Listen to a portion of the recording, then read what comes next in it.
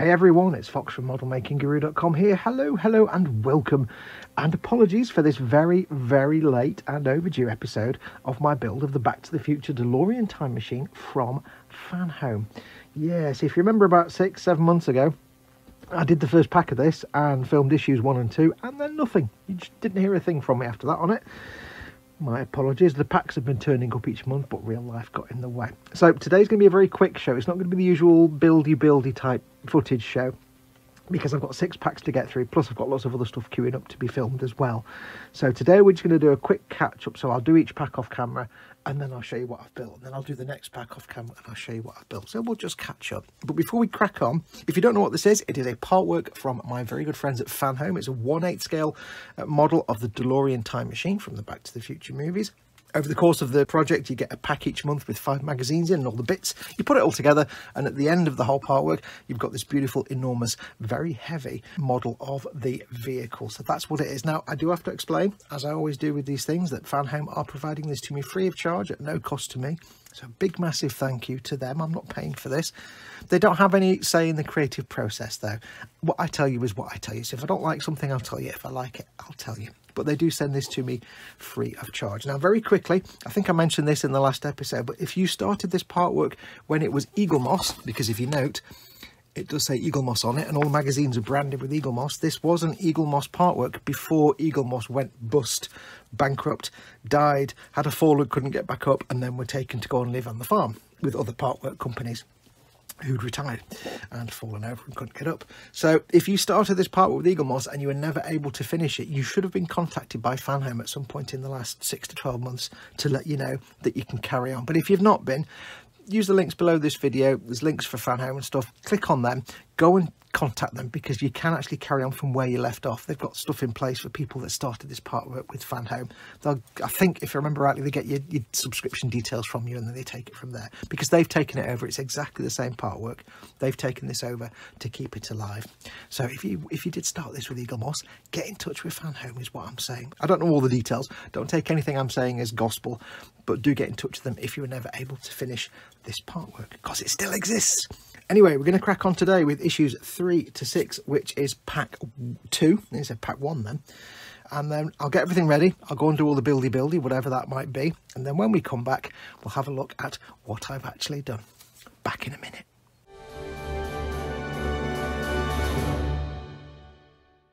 pack two is now done. Now this part and this part here, these are from pack one, issues one and two. I just thought I'd get them out so you can see how much we've done so far.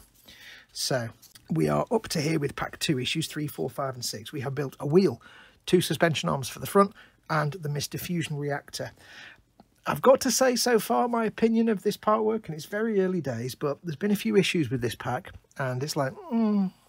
but you know, it's got plenty more issues to redeem itself. I'm used to DeAgostini stuff, and, and so we'll see how it goes. Anyway, we built the wheel, uh, which goes together beautifully easy, dead simple, that in there, screw that in there, bang, bang, bang, done. The only thing is, I pinged off the hub and it disappeared, so there should be a hub in the middle there that covers up the eventual screw that will hold that onto the suspension. Yeah, it's gone. So I've had to order a new issue 3 just for that central hub bit. Yeah, there was much swearing. I, I was on the floor, I was emptying boxes. I'll find it. As soon as this other copy of issue 3 turns up and I put it in there, it, I'll find it. Yes, we built the two front suspension arms, go together like a dream, really nice. I'm not really sure how the suspension is going to work because I don't really see any play in this at all. The, that's screwed in there and there's a big jonky spring, but it, I don't see how it's going to, I mean, I'm sure I'll figure it out when it's in place and in situ, but yeah, I don't know how it's going to work.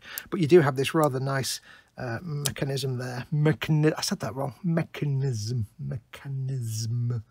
Me this gadget here uh, where the wheel can flop down so that when you've got the, the wheel screwed into place, driving, driving, driving, into flight mode, da, da, da. there you go, how cool is that? Some people have said they've had breakages on these parts, but I'm not going to be hooning it around like an idiot. I'm going to be very gentle with it, so hopefully nothing will break. It's got a magnet to hold it in place there, so hopefully that won't break on me. If it does, I don't know what I'll do. And we built the Mr. Fusion as well. Now, I have to say, comparing it to some of my DeAgostini builds, quality of this, like you know the quality of the plastic components and you know how nice they are and clean and it's not it's not brilliant. I mean there's mold lines and there's nubs and that bit's printed nicely but it's a bit mm, I can only assume it's quite an old part work this because it's not the best of the moment. It's fine it's fine. It's just mm, it's a bit you know you've got the three screws holding it together there and they've done nothing to cover that up. Really? Okay yes anyway so we put this together I did have some issues with this uh, first and foremost the two little screws that, that hold the springs in place for this latch that holds the Mr. Fusion lid in place. Uh, one of them, picked the, well, the spring pinged off into oblivion, a bit like the hubcap from the wheel, so that's gone, that's lost. But luckily, the second spring is on perfectly, it didn't go away, so that's actually in place, one spring only, and it, it works. It's, it doesn't actually do anything anyway, it just stops that pinging off, so it's fine.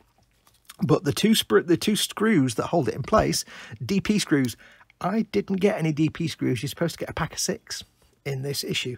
I didn't get any. I just got A, P and CP. So that was a bit rubbish. So I had to go into my stash of screws from other part works. And when you do part works, keep them all organised. Keep all your screws organised as the build's going on in little stashes. And then when you finish the build, just dump them all into a big pot. Because trust me, this is when they come in handy. I didn't have any DP screws and they're quite small, so I had to go and fish out a few screws from my, my stash. And I found a couple that worked fine.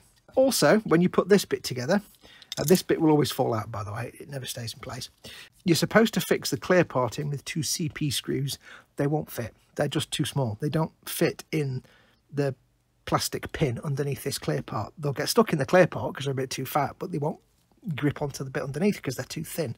So forget that. Just use two of the spare AP screws you get when you put this together. You have loads of AP screws left over.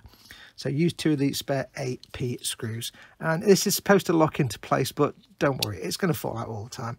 It's not going to stay in place, but it's not the end of the world.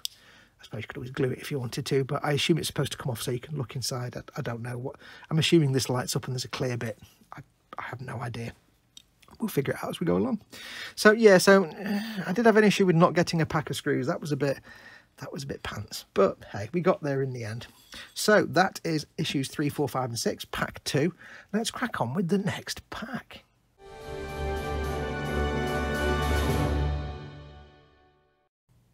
and that's pack 3 issue 7 to 11 done dead straightforward dead simple couple of things that i'll point out to you that you have to watch for but other than that nothing too complicated. We've started construction of the chassis. We've got the front steering rack, as far as I can tell, fully installed, and the front suspension, again, as far as I can tell, fully installed. We've just started on the rear suspension here to get that in place. Nothing really to watch out for. Very simple construction on the steering rack. It's about as complex, well, it's less complex than the Dodge Charger was, and it's uh, maybe a little bit more fiddly. In fact, maybe not even as fiddly as the GT40. It's quite simple. Things to watch out for. First of all, the front wheels this may just be me, but oh, well, there's the first thing. As you can see, the wheels, the magnets are all right, but they don't tend to grip very well. They do easily flop down. Now, if you've got it on a shelf, you know, on a shelf like this on its wheels, that's not going to be a problem. But it's just so you know, when you're building it and working on it later on, these are going to tend to flop down. You could, if you wanted to, I suppose, replace one of the magnets, um, but I'm not going to do that. When this is finished, it's going to sit on a shelf, so it's I'm not going to worry about that. Uh, the steering rack was very simple to build. There are two things I want to point out to you though. Now, both these things I'm going to show you seem to be limitations of the instructions, the 3D renders in the instructions. They're not always clear, and I have to add as well, in some places, they don't actually match reality. On the underside of the uh, Mr. Fusion here, the actual 3D render shows a couple of extra big sticky up tubes that aren't there. And there's a couple of times when you look at components in the instructions, they don't match what you're looking at. On this piece of the steering system here, there's a little sort of embossed pit around that screw hole. That's not on the instructions. And one thing that's not clear on the instructions is this bar here, which way round it goes. I've got it so it goes along and then points up and then goes flat to the screw point. I'm assuming that's the right way around. I looked at it for a long time and thought, I think that's the way it's showing. It's just because it doesn't show any the, the angle they've got it doesn't show whether it's pointing up or down, so it's not very clear. The other bit I wanted to point out where the instructions are not clear are these two wishbones at the back. There's one here and there's one over here. You see there's a little nodule on the end of the arm there. That doesn't appear in the instruction graphic at all.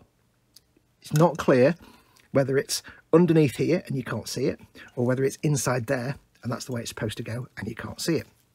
It's not mentioned in the words at all. Uh, now, I've actually built it this way with it sticking out that because I wasn't sure which way around this is supposed to go. I consulted as many different people's builds as I could. I've got my friend over at Gross Models, Chris. He's done this build and he put it the other way around, then put it back this way around. I've seen other builders do similar. It seems to be so far, the general consensus is that this little nodule goes on the outside because this is a, a detent, a stop for when the wheel comes down. It stops it going too far, as far as I can tell. Uh, if you put it the other way around, so this little nodule's in here, it stops this bar moving very far that way.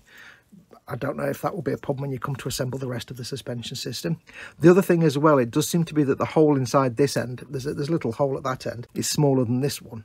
Uh, because I did read from four or five years ago, people having trouble getting the screw into this end to build the rest of the suspension system.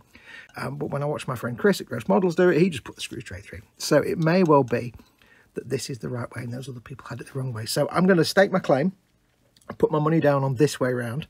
It might be wrong. I may have to take it all back apart again if it all turns horribly wrong later on. But based on other people's builds that I've looked, I think it's this way. Again, the instructions are not very clear at all. But other than that, everything else went together perfectly well. No problems with this. So now let's get on with the next pack, which is issues 12, 13, 14, 15 and 16.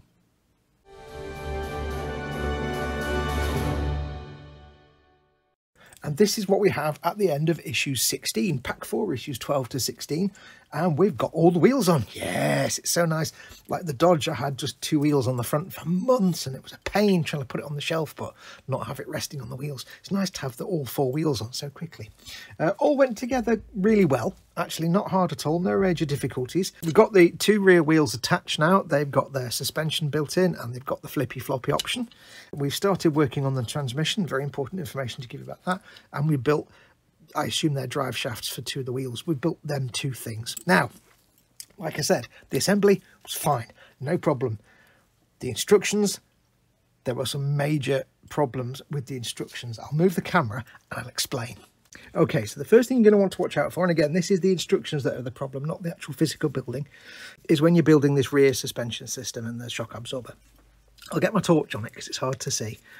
Uh, what you have to do is basically you have a screw IM and it's an IM screw. It's a big long screw and it threads through all these bits. There's the shock absorber here. It threads through the end of that. There's a loop.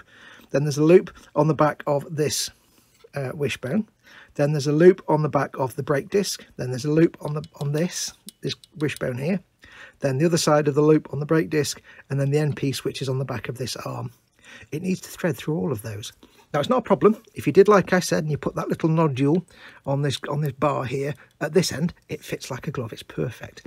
The problem comes in the in issue 12 it says take this shock absorber and put the IM screw in the end of it and then it shows you assembling the wheel onto here and misses this off the diagram as if you've not got the shock absorber there and then at the end of it it shows it on there so it's a bit it misses that out. So if you did, I had to think, look at it twice and think, hang on, where does the shock absorber go?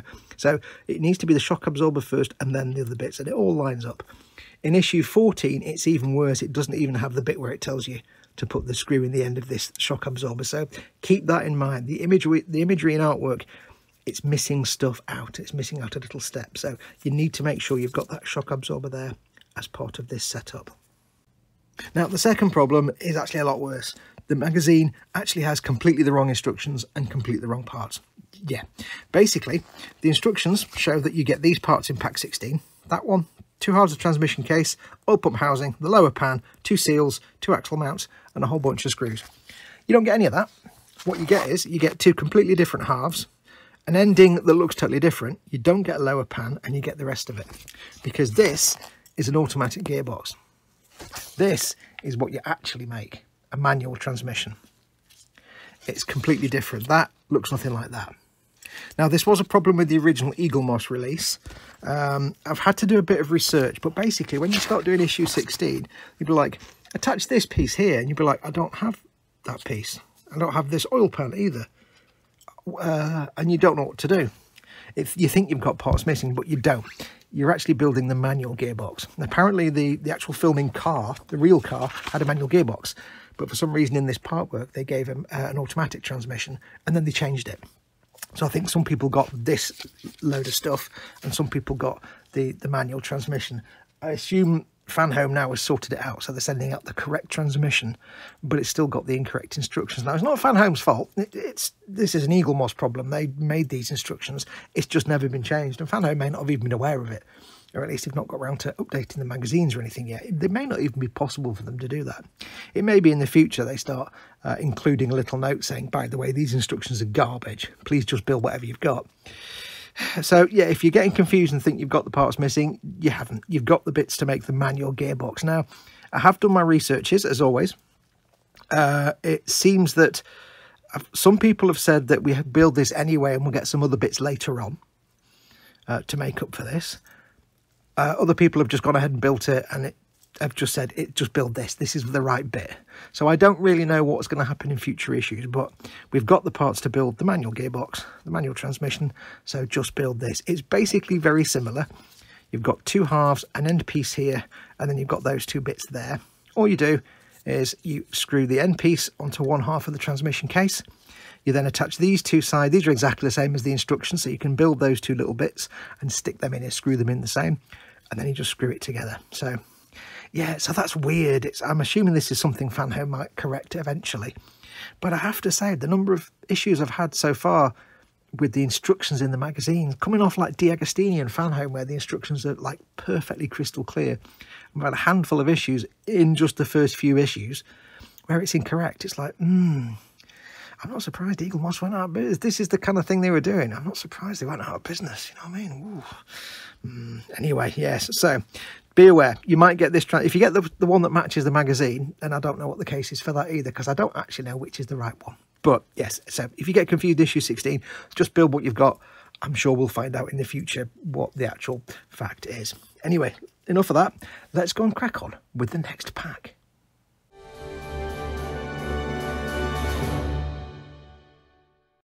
And the next update, we have our engine. Yes, I don't know if it's completed yet. We're just, we've I've got to the point where we stop making the engine. Now, I did go for more than one pack. I went from issue 17 all the way to issue 23, so it's a bit more than one pack. But it's because it was all dealing with the engine. I thought I might as well get the whole thing built and then come back to you. Uh, went together really well. A couple of, well, three things you need to be aware of, two or three things. First of all, when you get to adding these two bits on the end, keep in mind again that you're building, hopefully you've got the bits for this manual transmission and these bits are adapted to fit that part of the transmission. In the magazine, it shows the automatic transmission and has completely different parts on the end. So don't panic again when it doesn't match the artwork in the magazine. You've got the right bits. Hopefully we'll continue to get the right bits all the way through this. And although the magazine may not be correct, we won't have to take all this apart again later on to adapt it for some other parts hopefully, fingers crossed. So that's gone together. Things you need to know. First of all, you've got the dipstick there. It just sits in a little hole at the bottom. I do recommend when you've finished everything else, little tiny touch of super glue on the end just to hold it in place because it will come out every five seconds with the slightest provocation. So you might want little touch of super glue on there. You can, if you want to, when you put these tubes and pipes on, uh, it might be worth using a tiny touch of super glue on each end, on each little bit that they attach to, just to hold them in place. I haven't done that yet because I don't know if I'll need to pop them off again in the future. And also, there's a very good reason why you don't want to glue them, but when you're sure there's nothing else to go on there, you could probably glue them on. Third thing, on this part here, if I can show you, this part here, uh, where is it? Down here, this bit that sticks up here. There's two little nodule, nodules, one there and one at the bottom. This hose from here goes onto that bottom hose there on that bottom little nodule. Now in the instructions it tells you to put it on the top nodule but there's also a photograph of the actual engine in the uh, magazine and the pipe going from the top nodule comes over here somewhere and the pipe going to this component goes from the bottom so it might be the wrong way around I might have to swap it back again I haven't glued it in place but it looks like this is supposed to go on the bottom nodule, which is slightly bigger. The magazine does show this nodule as the biggest one, but it's actually at the bottom. And be careful, those are very easily bent and snapped. Same with these two bits here. They're very easily bent, so be careful when you're installing those. Now, the major problem I had with this is this plate at the top that the rocker covers sit on. It's one big plate and it clunks down with two big screws, and I think they're DM screws. The problem you'll have is those screws aren't long enough uh, they go through uh, a little tube. They go through a little tube I can't do it with my hands, but they go through a little tube and then there's a tube at the bottom of the engine that they also go into and they're supposed to screw through the tube in the cover and then keep going down into the tube at the bottom and hold it in place. They don't. They, they won't, they're not long enough. I couldn't get any of the other screws that, that I had in my spares box for this project, for this part work, to fit. So I had to go into my big stash of screws and I had to get a couple of screws from my Dodge Charger build. And I don't know what they were. They were big, long silver ones with a flange on the end. I don't know what they were. They might have been FM, I think. I don't know. But they were the only screw. You might be able to see down there. There's a little silver-headed screw down there. Maybe you can see that. I don't know. There's two of them with the flange on. They just about uh, they're, they're slightly thicker than the, the ones you get with this part work and they're long enough to just grip that tube at the bottom. Now, it's not a very tight fit at all. It is like, you can see it's wobbly. And this doesn't fit very well together at all. I, I couldn't get this to lock down any further than that. But I suspect it doesn't really matter too much. It's on there. I'm not going to get too handy with it. It's still a bit wobbly but as long, those screws are down as far as I can get them, even with a touch of oil to sort of smooth their passage, they're down as far as I can get them in. And it's hard to get down there with the screwdriver anyway. So you might not have a problem with it, but if you do, and you find this top cover just keeps coming off all the time, just have a look through your collection of screws or you know, go and get some screws, find some somewhere that are slightly longer and slightly fatter uh, than the screws that you're supposed to use. You'll see the metal tube in the bottom. If you find a screw that fits into that nice and tightly, you should be fine. The, the, the screws that you're supposed to use, apart from not being long enough, they're also not quite fat enough. So they, it doesn't it just kind of sits in the tube. It doesn't lock onto it. So it wasn't holding in place. So yeah, you might need to hunt around for screws if you have any problems. It might work perfectly for you. It might all fit. This part might be slightly out of shape and that's why I'm having trouble. It could just be slight warping of this metal component. I don't know.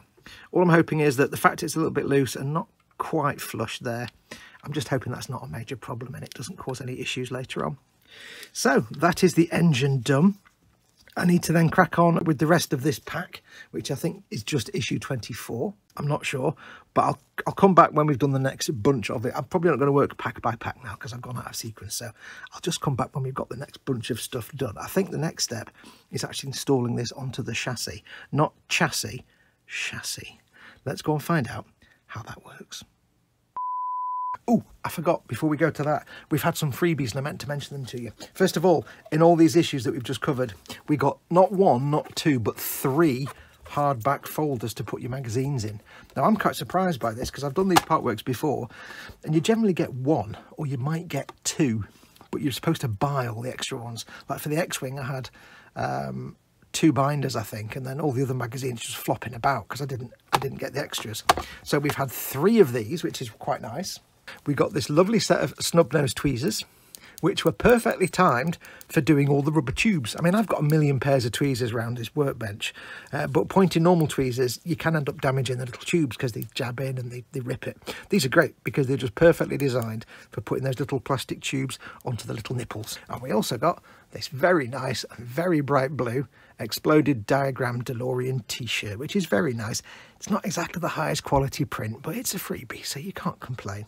It's quite nice. Photograph of the DeLorean and all the exploded bits out. And it's actually, what size is that? That is a large, which is a bit too small for me because I'm more of an extra large, unfortunately. I'm old man, I've got expansion joints that shouldn't be there, so...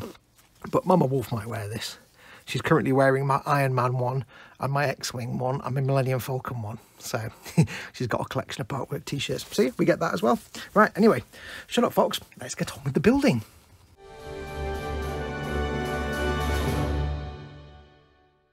Okay, final update for this video. I've done issues 24 to 31. That's it now. My stash is up to date. I've got rid of the backlog. I can now sit back and put this back away in the box until the next lot turns up uh, in a month's time. And then I can just film that as a regular, normal watch me building it episode rather than this kind of quick catch-up episode. So that's up to date. What have I done in those issues 24 to 31? I have completed the engine. At least for now, I assume it's completed. There was a bit more work to do on the engine, adding the drive belts and things like that, and the pulleys. Uh, it's been mounted into the chassis. We've got the floor pan in, radiator's gone in, and on the other side,